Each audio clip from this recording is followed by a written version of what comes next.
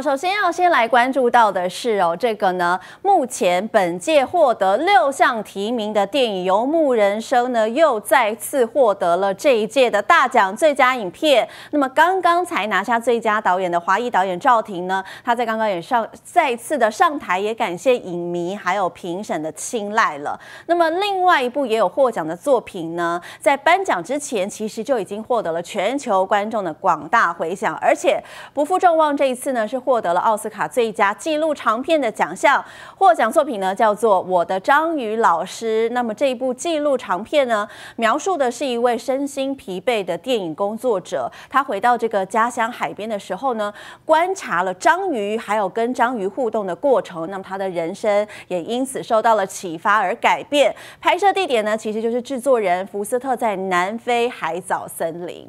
好，接下来进一步要来看到的是哦，入围今年奥斯卡最佳男主角的人有谁呢？包括了有这个里兹阿麦德拉，还有这个曾经饰演过黑豹的查维克博斯曼，以及呢安东尼霍普金斯，还有盖瑞欧德曼，以及这个呃呃饰演这个梦想之地的史蒂芬元。而今年最被看好的人呢，其实原本是这个饰演黑豹的男星查德维克博斯曼哦。那么在这个电影《蓝调天后》里呢，他原本饰演的是一个年轻的小号乐手，从野心勃勃演到了绝望，演技很精湛。但是不幸的是呢，大家不知道还记不记得，去年八月他因为这个大肠癌是已经病逝了。而且其实呢，他在拍这部电影的时候已经变得很消瘦，但是呢，演技依然获得肯定。因为今年呢，这部片他获得了金球奖影帝，呼声原本是相当高的。但是呢，结果刚刚出炉了，他的对手安东尼霍普金斯刚刚获奖了，成为今年。新的影帝，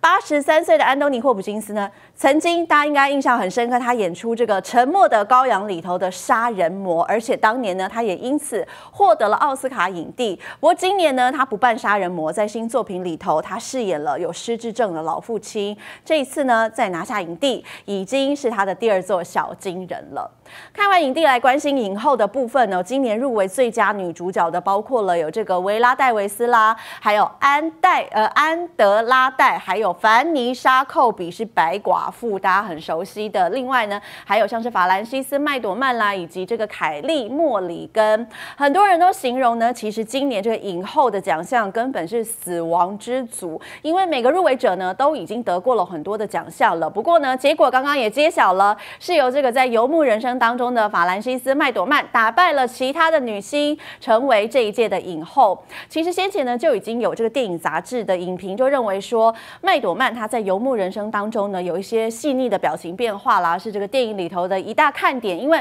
很能触动人心。结果果然得奖了，那么这也是她呢第三次在奥斯卡上头封后了。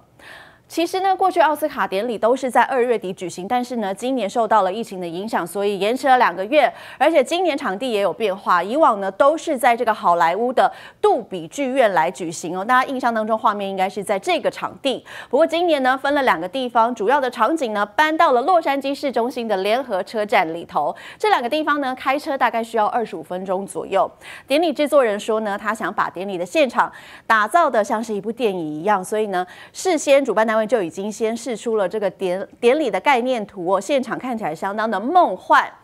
那今年的这个重量级颁奖人呢，来看到了像是有布莱德比特啦，这个瑞呃瑞尼奇维格啦，还有饰演小丑获得影帝的这个瓦 King Phoenix，以及因为这个寄生上流获得最佳导演的这个奉俊昊，他们都是今年的颁奖人。那么美国呢，其实在今年施打疫苗之前呢，疫情算是蛮严重的，所以呢，像是这个有艾美奖啦、金球奖、格莱美奖，今年其实都是透过这个视讯来颁奖的，只是。大家认为这个效果不太好，所以呢，今年的收视也不好。因此呢，奥斯卡的主办方不希望透过这个视讯来颁奖，希望这个入围者呢可以亲自出席。但是呢，今年的红地毯规格有稍微缩水了一点，现场也只有开放了二十家媒体采访，就是为了要落实防疫。那么以上呢就是这一节最新的奥斯卡讯息，提供给您。